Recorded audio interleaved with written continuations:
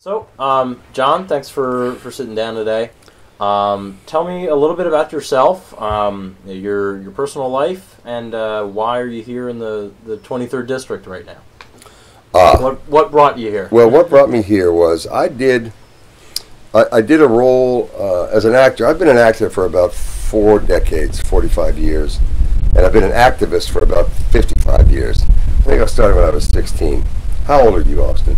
16. All right. Almost 17. All right. Yeah. That's when I started. So anyway, I was um, I was doing a show, uh, Inherit the Wind, at uh, Geva Theater in Rochester.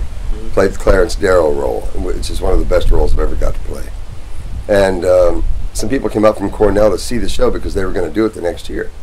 And they saw it, and they said, and uh, Beth Milles uh, was the director of the show next year, the following year. And she said, "Would you mind coming down to uh, Ithaca and do uh, Cornell and do that for me?" And I said, "Well, let me think about it. It's the best role I've ever had. Yes, I would like to." Yeah. So I came to Cornell, and um, I found out they had an RPTA program, Resident Professional Teaching Artist, I think it was called. And uh, I said, "Can I, would, can I read for that? Can I, you know, interview for that that kind of position?" They said, "Sure."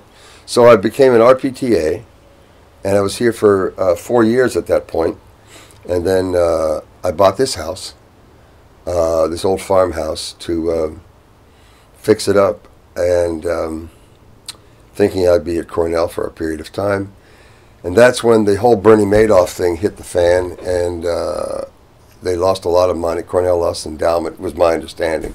Nobody counseled me on it, uh, but uh, and they they eliminated that program.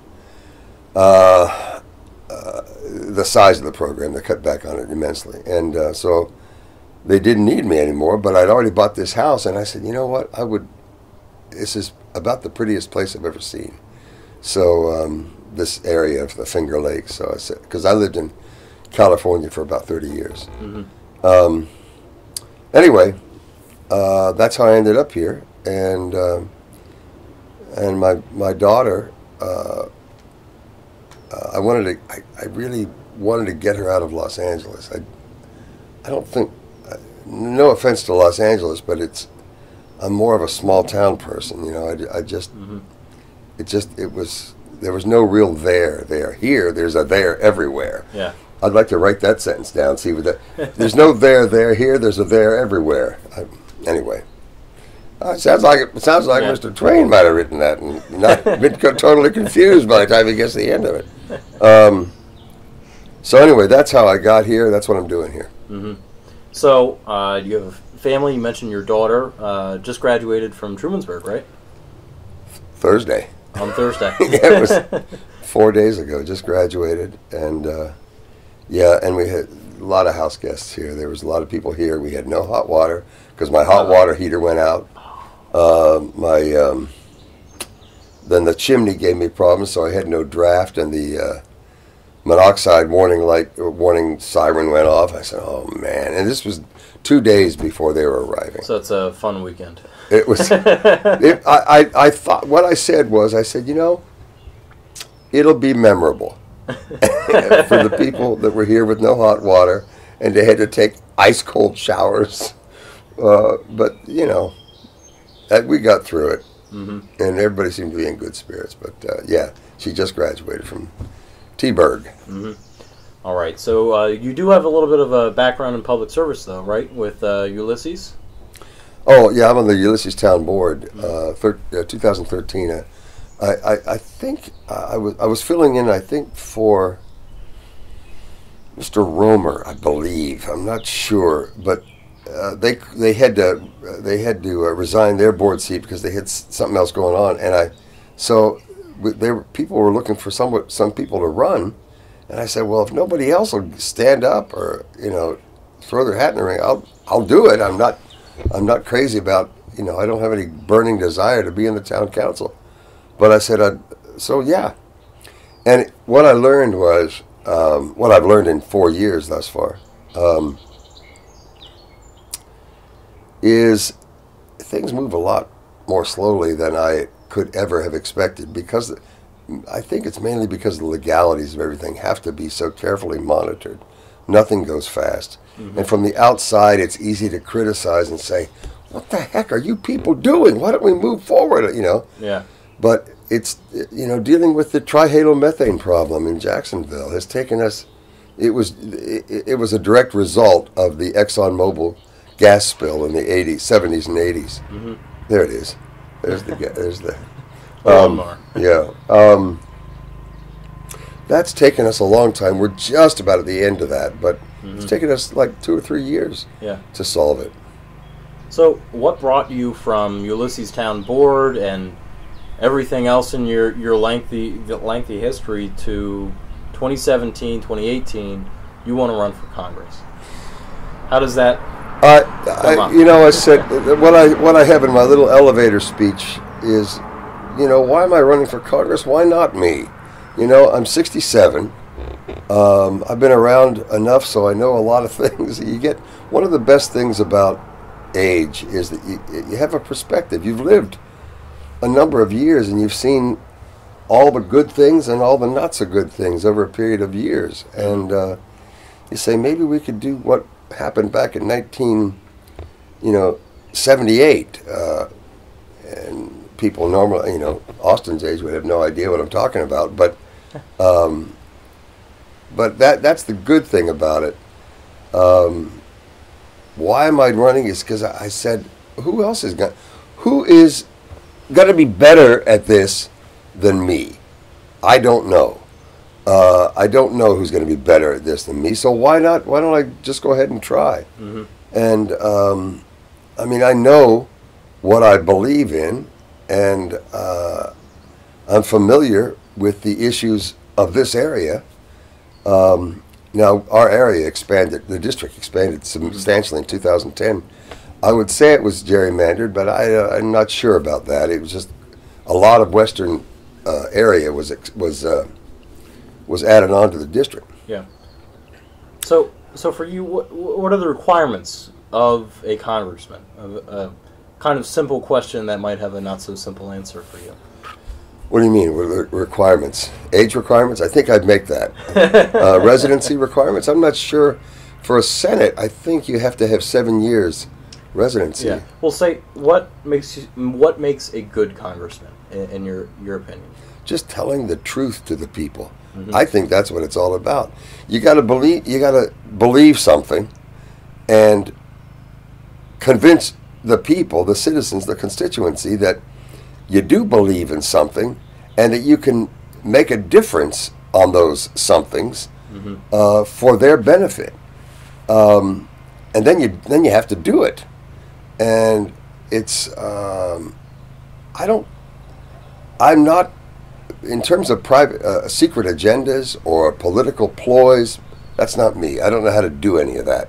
And if that's what it takes, I, I will fail miserably. Um, I don't think that's what it takes. I don't think that's what the founders had in mind. They they had in mind getting people. Uh, uh, el- being elected by the people to represent their needs, to, to represent their uh, life, liberty, and pursuit of happiness. That's what they're out. That's what. That's what the representatives are there for. Um, I think, and um, uh, there's many things that I that I. Uh, I mean, I completely disagree with Tom Reed on just about everything. Um, I, I, I, I, what I don't, what I don't want to be is a quote unquote politician. I don't want to seem like I'm on both sides of every issue. I don't want to end up saying, yeah, you know, I voted this way, but I really, really wanted, I really believe, I really had felt sorry for, and I really wanted to be on this. I, I understand, you mm-hmm. know. So he ends up, and the great politicians do, they end up being on both sides of every issue, and you can't really catch them up on anything. Well, mm-hmm. listen, I, I'm going to say what I believe, and let the chips fall where they may. If if people, uh, if that can't get me uh, elected, so be it. You know, it, but my, I'm going to try to work for, as I say in the, uh, my, some of my material, I'm going to work for the uh, the workers. The um I'm very middle. I'm I'm really middle class. Yeah. My dad was in the Air Force. My mother was a high school teacher, and we never had much uh, of anything. But but uh, it didn't matter. You know, it, it was easier uh, maybe back in the day to have the, the middle class was huge Mm-hmm. when I was young. It's shrunk considerably now. Yeah. Anyway, I don't going off subject, but So I wanted to get into uh, some policy stuff. We're Yeah. just gonna knock out Yeah. issue by issue here, and Just uh, go. Just going through. sometimes I might not have an idea of uh, about that particular issue, but Yeah, that's fine. That's fine. Right. Uh, so to start off, for uh, the environment, um, first of all, does climate change exist? And if so, uh, what do you think are the best ways um, that you in the House would be able to implement to uh, combat climate change? Well, I, does it exist? It is absolutely exists. There's there's not a doubt in my one tiny sector of my brain. There's no doubt. Um, Twenty years ago, the Dutch, who are the best engineers I think in the world, um, started moving their villages and towns away from the seacoast of the Baltic Sea to get and to get away from because they knew the water was rising. Twenty years ago, and you know to ignore the fact that uh, we're having these storms, this violent weather. We've had more rain. Last year it was a complete drought here. Now we've had more rain in what six months than we have in years. Um, uh, the volatility of the weather is some proof of global warming. The increase in the mean temperatures of the of the oceans is proof of global warming. And do I think the uh, that I, do I think that uh, carbon dioxide in the in the air? Yeah, I think it. Uh, uh, I think it absolutely. If not the only cause, it is the most exacerbating cause. I believe we've got to get off fossil fuels. We've got to get off them, and in my opinion, we need a. Um, when I was when I was ten years old, it was 1960 Yeah. uh, Kennedy said, We're going to the moon as fast as possible. In nine years, we went to the moon. From nothing, from the Mercury program, where we were sending a guy, Alan Shepard, up to, you know, up about, what, 12, 15 miles and then back down, or whatever it was. I'm not sure how, how far it was. From there to get to the moon and back several times um, in, by, in nine years. When I hear people talk about not being able to switch over, not being able to switch over to alternative energies, solar, wind, uh, geothermal, hydro, uh, tidal for that matter. We have a big coastline. Um, in 20 or 30 or 40 or 50 years, I said, that's insanity. Yeah. We, did, we went to the moon in nine years. We have to do it because we had the political will to do it. We need that again. All right. Another issue. Yeah. Second Amendment. Um, guns. Where on the spectrum do you fall from uh, nobody should need to carry a gun to everybody should be open carry? Oh, everybody has to be open carry. Well, you know, I don't, I don't know about the Wild West about everybody open carrying a sidearm. It always makes me a little nervous. Whenever there's a, whenever there's somebody with a, a gun or a Glock or something on his hip, I, it makes me just a little edgy. Uh, if I'm at, uh, you know, McDonald's or if I'm at a restaurant or something, I got to say, given that, the Second Amendment is the Second Amendment right after the First Amendment. So evidently, the protection of the freedom of speech, freedom of religion, freedom of association was the founders thought maybe we have to be able to defend all those things. So they put in the Second Amendment. So I absolutely 100% believe in the Second Amendment in terms of the right to bear arms. Mm-hmm. We have the, the Bill of Rights is about rights. The Second Amendment is about the right to bear arms. It doesn't mean we can bear a tank. It doesn't mean we can bear a rocket launcher. It doesn't mean we can bear, you know, every arm known to mankind. But we have a right to bear arms. And I think, in terms of what arms we can bear, I think that'll be left up to the judiciary uh, to decide. So, uh, looking at the economy, a macro sense, uh, not trying to get into nitty gritty details, uh, there's been a lot of talk over the last, uh, ever since the financial crisis, really, of how to proceed on the world stage with globalization, and a lot of global economic issues. Um, for looking at the district as it is, what do you think are some good macro sense economic price? Oh. You all right? Oh, I felt I, I, I tripped over a guy's roller bag in an airport the other day, and I, I hit I hit that granite floor hard with my left shoulder. I Oh, just got it in the wrong shoulder. So that would anyway macro um, macroeconomic issues to solve in Washington that would have a positive impact on the district. Well, I you know I, I I just heard today about Carrier. Trump made a big a big uh, sound about saving a thousand jobs at the Carrier plant in Indianapolis. When he came into office, he was uh, you know this is what I've done.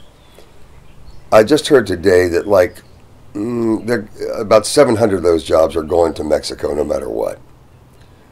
You know, I'm a u- I've been a member of a u- three unions. Um, so I'm a, I believe in unions. I believe unions built this middle class and built this country in the 1950s and 60s, right after World War II.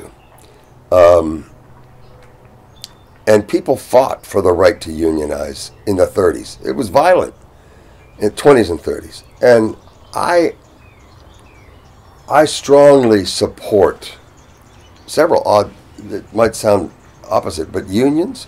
I support living wages. I support um, the.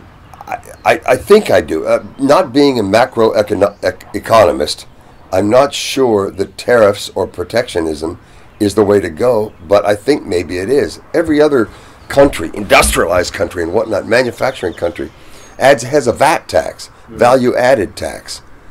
Uh, so they they tend to protect their industries. Germany has some of the strongest unions in uh, in the world. Their uh, you know their base pay is very livable, and yet they are able to produce products that sell all around the world. So, what happened to that in America? What did we do? I would. St- I'd have to. I guess I'd have to study the macroeconomics of it. But I, I am so tired of losing jobs uh, because people want to be paid a decent wage to send jobs over to Jakarta, send jobs over to uh, the emerging world that where people are forced in often in uh, dictatorial countries to work at wages that are incredibly low.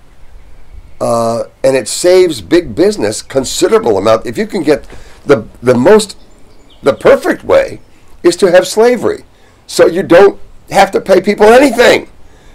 Well, that's what uh, that's what they're, they're not slavery over there in the, in the emerging world, but they're they're you know they're working for fifty cents, sixty cents an hour or a day. Um, it's not right, and that's where you know it's just a matter. In my opinion, it's greed, and I don't expect any support from from any corporate entity or big business because I believe we have to bring the jobs back here. People say the jobs aren't coming back. Well, in my opinion, that's BS. There's a lot of people that want to do those jobs here in this country, and um, we need to bring them back. I, I just, um, ir- it irritates the hell out of me when people give up and uh, sell out. Yeah. You know, So another topic, uh, immigration, and it kind of falls along those lines as well. The 23rd district is a very large agricultural district. yeah, Um, the dairy industry, uh, fruits, vineyards, uh, the grapes. Um, a lot of those, at least 50% of that labor, is migrant labor. is that right? Mm-hmm. From where? Um, a lot, most of it is from uh, Guatemala and Mexico. Really? About 70% Mexico, 30% Wow. Guatemala. Um, Well, they're sort of a hidden entity because I never. I mean, I used to live in Southern California, Mhm. and I worked with a lot of uh, migrant workers. Um, I don't see them here. I see maybe one uh, Central American every month. You know, I around here I just so they're sort of hidden. I guess it's sort of a hidden. yeah, it- Population. It, it's a very, and it, it ties into the whole uh, a very large issue with uh, immigration of migrant workers. Right. Looking at that um, from an immigration perspective as well as agriculture, since they make up a large portion of that workforce. Yeah. To you, what are some practical immigration policies uh, that might be reformed or implemented at um, in Congress that would help these folks out? Well, I wouldn't vote for the wall right off the bat. That's that's an unbelievably. Uh, it's like a medieval uh, answer to uh, a modern economics question. Um, I, to tell you the truth, I would really have to study that because, as a union person, I know that uh, there's a problem. There's a, a headbutting that goes on between migrant workers and union workers, and I I do believe that that um, uh, that in many cases, unions are are are, uh, are can be devastated by low paid migrant workers. But one of the reasons they're low paid is because they're uh, in so many cases they're uh, in the shadows. I, I, guess I'd have to agree with Obama's um, approaches. Um, is get them uh, get people out of the shadows and give them a pathway to citizenship. Because the people that I've known that I've worked with are, are wonderful people, and um, uh, I I, under, I understand it from both sides. This is one issue that's tough for me because being a union worker, um, I don't like to see the jobs that I do at a union scale be done by people because they're in the shadows for a lot less and they can't complain. Mm-hmm. Um, I empathize absolutely with people tr- just trying to earn a living and get and provide for their family. Um, honestly, that would take some study on my part to figure out. We haven't figured it out as a country for 40 or 50 years, and I don't have an answer that even satisfies me at this point. Mm-hmm. All right, looking at education. Um, we sit here with, with Mark Twain uh, literature on the table. Um, but as education goes, there's a major discussion right now, almost again from a macro sense, not necessarily a specific topic, but almost whether to invest more money in uh, public school infrastructure or more money in the system in general, or to try new things, such as charter schools. What, in your opinion, um, is a way forward for that system, and um, what is the best uh, way to reform the schools, which I think most people would agree are, are struggling? Uh, yeah, I don't know. I think Ithaca. Where do you go? Ithaca Uh, High ACS. School. ACS. Oh, ACS, But it's and that's public. it's a It's- public school, yeah, it's- and Ithaca's a public school, and It's a lot of Trumansburg, where my my daughter just graduates, uh, graduated, is a public school. My mother was a high school teacher, French and Latin. Uh, I went to public. My sisters and I, we all went to public schools all over the country because we were. In, my dad was in the Air Force. We traveled all over the world, but um, I really, uh, I, I, I would fight in on the floor of the House to build public public education. I think Jefferson had it right. the The backbone of democracy is an educated electorate, and uh, that's why he basically included public education in his drafts of the Constitution, of his uh, his concepts for the, uh, the I think uh, I don't know if the Federalist Papers did it as well, but public education was uh, was a basic um, tenet of Jefferson, and I think he was right. Um, and my mother being a public school teacher for you know 20 30 years and my two sisters one sister was in special education for 25 years my other sister is a lawyer she also taught uh, english as a second language um, I, I, I, I would stand against Betsy DeVos and the uh, charterization of schools. Um I believe in a major way. I don't want to have a closed mind towards charters, but I remember um, I, I public schools served me as, and I realize I'm an old guy, incredibly well.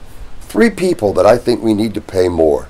We need to pay our teachers a living wage. Hannah had fabulous teachers at, at Trumansburg. Not enough of them uh, because they, they, they, they, the school budget is just bare bones. But um, we, uh, teachers need to be paid more, nurses need to be paid more, and police officers need to be paid more. I would, I would absolutely, because they have, the teachers have our children for eight, for uh, what, 17, uh, 14 years anyway, 13 years. And we, we try to undercut that, you know. Uh, nurses, I don't know if you've ever been in a hospital, but the nurses are very important people. They keep you alive, uh, and so do the police. And um, I just think it would improve all the levels if we could find a way to to get funds into those three occupations. And if it means paying a little bit more in taxes, so be it. Um, I, I, uh, I, I'm very on the board. I am very leery of raising, of adding services, because I say it's it's hard for me to pay my taxes. So I don't want to spend the taxpayers' money willy nilly. I'm very, I'm very cheap. I think in terms of not, you know, uh, not voting for things that I think are unnecessary. But public education, in my opinion, is very necessary, and uh, it's done well by me. If I didn't have Latin, I would never have been cast in Star Trek, and that's another story. I'm sure. Yeah. Um, you did mention nurses and healthcare there for a little bit. Yeah. Which, um, that's the the big debate of the day right now, this week especially, uh, as uh, the Republicans look to move the AHCA um, onto the Yeah. president's desk. But um, looking at this, if uh, you would end up in Washington in 2018, assuming that um, the affordable uh, the Affordable Care Act in some way was replaced with some sort of uh, American Health Care Act, some sort of GOP. What to you would be um, some top priorities, smaller things, uh, perhaps part of the uh, HCA or uh, the ACA that you would like to implement or see on the record um, that you could implement separately? I don't understand what the Medicaid expansion is exactly, but I, I, I, get the it's.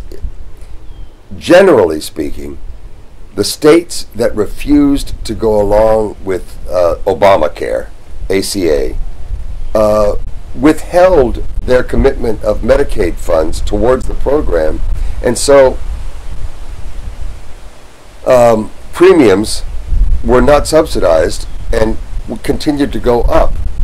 Um, I was on the ACA for a year before I turned 65, uh, and I could get Medicare. Medicare is the most efficient, most successful health insurance program in the United States, and it is single payer. It is Medicare is single payer. Please understand that. That 37 other industrialized democracies and countries in this world have a single payer program of some sort. Why America doesn't do it is simple profits. We have, you got to ask yourself, why are the tallest buildings in city centers usually crowned with this with the name of an insurance company? You know, so many of them are. If it's not a Trump hotel, it's an insurance company or a bank because of the profit involved. And when we have a single payer program that not only is solvent, despite what Republicans want to keep saying, it's it's uh, it's all it, basically they're lying. Um, Medicare is uh, solvent. Medicare will be solvent, and it's everybody. The, the first words of the Constitution: "We the people, in order to form a more perfect union." Well, it doesn't say we the people in order to form a more perfect individualized place where people don't care about each other. It says a more perfect union. Mm-hmm. We're living in a society for a reason. It, we're not all we're not I mean, yes, rugged individualism is fine, but when you live in a society, you're going to bump elbows with everybody else in that society, and you have to be you, you have to be aware that certain people are going to need help, those people won't need help. Uh, and as a group, we can help everybody appropriately. I think that's so. I'm I am, despite what um, Mr. Reed says, I'm a single payer advocate. Mm-hmm. All right. I want to get away from the issues a little bit, All move back towards you. All right. Um, so, to clarify something here, are you seeking uh, the Democratic nomination, or are you um, currently going forward as an independent candidate? Oh no! If I can get the Democratic nomination, I'll I'll take it. Uh, I've been a Democrat all my life. I was an independent rec- uh, for a while. I think when Jack Anderson was running, and I the first person I canvassed for was George McGovern in uh, 1972 or three. I, It was back in the day. I remember going to uh, Polish neighborhoods in Scranton, Pennsylvania, uh, Swoyersville, an area where people actually did not speak English uh, in mining, little mining towns. Yep. And I was, t- you know about it. You're from Reading, um, and I would talk to them about the bombardment of Cambodia. And, you know, in a language they didn't really understand, and I was, but I was uh, doing my best for uh, for McGovern, as opposed to uh, Nixon. Um, I, you know, I. Um, it's, I, I, it's my uh, uh, my take on, on that aspect of is uh, it just it sort of wells up inside of me and completely wipes out everything else. What was the aspect again that you wanted to know about? I just wanted to know if you were lo- looking for the Democratic nomination. yeah, um, So, so yes, you are seeking I am. running in the primary I am. And, but if I don't get it, I, I intend to stay in the race. as an independent. as an independent, as a write-in, if it, if that's what it takes. Um, yeah, I um, I have uh, I as long as the Democratic Party is fighting for the little guy, I'm there. hmm That's who I am. Yeah.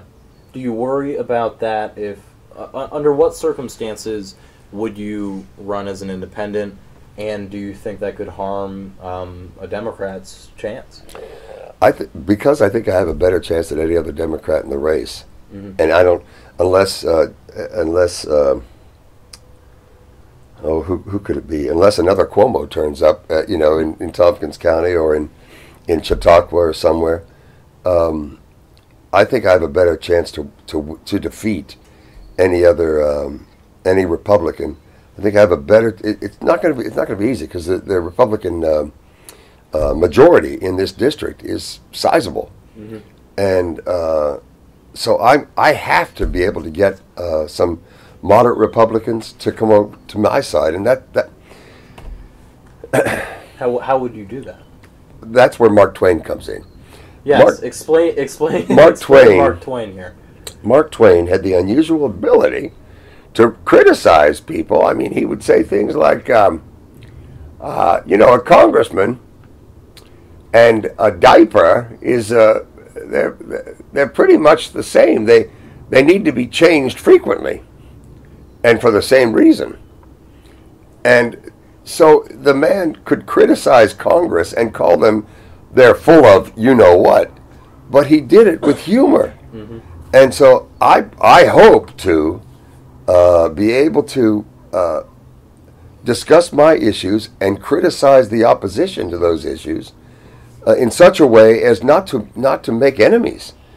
But if I can do it with humor, if I can do it with uh, humanity in my heart for the for for the other person on the other side of the issue, um, then I think uh, I think I'll be all right. And because that's what Mark Twain did. He was able to uh, destroy, you know, the opposition um, with a, just a few words, and and still make them his friend. Uh, Mark Twain represents one of the great parts of the American ethos. You know, we're Americans first. We're not Republicans or Democrats or uh, whatever. Uh, we're Americans, and He was unique. He was perhaps the embodiment of what American is. Um, and for that reason, I, I want to try to make him my spokesman at times, utilizing what I've spent 45 years doing. Mm-hmm. I don't have to get somebody else to do it. I can do it. Um, anyway, that's that's that's why Mark. Uh, So your philosophy is that humor would uh, would be able to build the bridge between. that's exactly what of it is. issues. That's exactly what it is. What, With what humor, it's hard to attack people when they, when you're laughing. yeah. It's hard to. Ex- Laughter is the best medicine. laughter is the best medicine, and yeah, and uh, What about- smile when the world is hating you. What about some some fairly polarizing issues? Like healthcare is a, a very polarizing issue right now. Do, when is it? Do you think it's going to be easy, or do you uh, expect difficulty in looking somebody who's on the other side in the face who may be able not be able to afford uh, their premiums right now? You know what I you know what I plan on doing. I plan on if, if when I when I go to the little towns when I, you know out west that, that don't know they don't know me from Adam. Um, I want to be able to talk to people and say, "All right, tell me exactly what the problem is." I don't want to hear a Republican talking point. I don't want to hear a Democratic talking point. I want to hear, okay, tell me what your particular problem is. And then with the with the general and hopefully more in-depth knowledge that I have gained at that point, I can respond knowledgeably and uh, hopefully bend them around to understanding that single payer is a is a response that will take care of that problem. Um,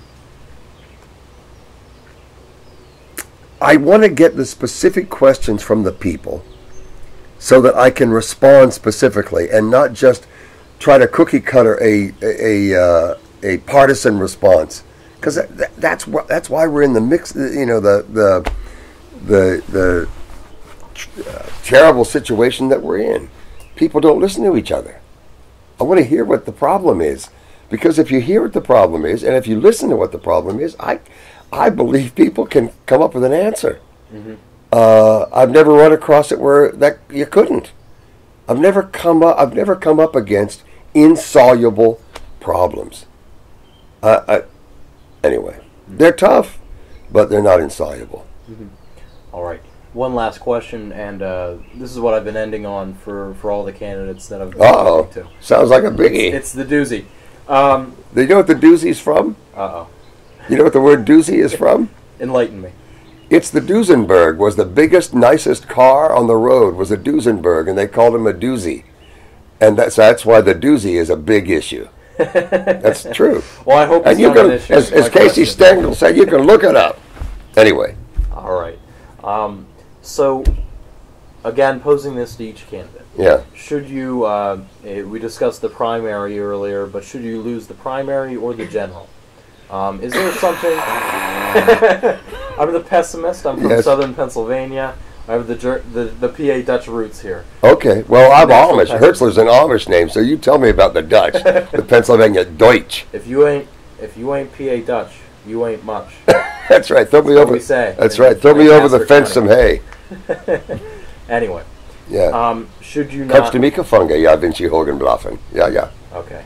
Now, now you're out there. I'm a little bit of Welsh boy too. Oh, Welsh. Don't go Oh, nice. All right. All right. Um, should you lose, is there something you want to leave behind in your race that they remind remember? Oh yeah, that's the thing John Hertzler said. When this comes around, as time will go on, if this comes around in 2020, or people say, that's the thing John Hertzler started in 2018. In 2020, you know, Reagan took the solar panels off the White House that Jimmy Carter had put on. Jimmy Carter had set up a solar energy policy that would have had us completely off of any dependence upon foreign oil by the year 2000. Reagan stopped every policy that he had set up. And, and it was visibly the symbolic, the symbolism of taking the, the, the, um, the solar panels off the White House was significant of that uh, of that argument, saying, "No, no, let's burn the fossil fuels. This is America." Um, but just think how many lives would have been saved in the Middle East. Just think how many American lives would have been saved. How many times we didn't have to invade to protect our oil interests. Um, just think of that. So that's one thing. Um, climate change. I, I believe I am so correct about believing 99.9% of the scientists that climate change is real, it's happening, and it's um, it's uh, uh, spiraling geometrically out of control. We have to set up a program to deal with it. We cannot do it as an afterthought because if we lose that battle of climate change, the human race loses big time. Mm-hmm. Or as Trump would say, bigly. That's Sherwood Forest. That's my. Uh, um, the second thing is uh, the first thing was climate change. The second thing is health care. Mm-hmm. I'm right about single payer. I have no doubt in my mind about it. I have to stop my phone. Uh, I'm right about single payer. And hopefully by, by 2020, 2022, whatever it takes, mm-hmm. people will understand that that's right. That's the way for us to go. Everybody will be taken care of. There's not going to be 24 million people thrown off. The, the, the, the, the premiums won't be out of control. The insurance companies will be brought back down to size. That's my hope. All right. That's all I have. Well, thank you so much for all right, sitting brother. down and doing this today. Thank you.